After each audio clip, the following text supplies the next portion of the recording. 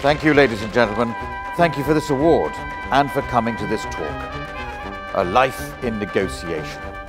Well, we all do it the whole time with our bosses, our teachers, our parents, our children, wives. I definitely do it with my wife.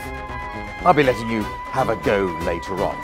Not with my wife, no, definitely not my wife.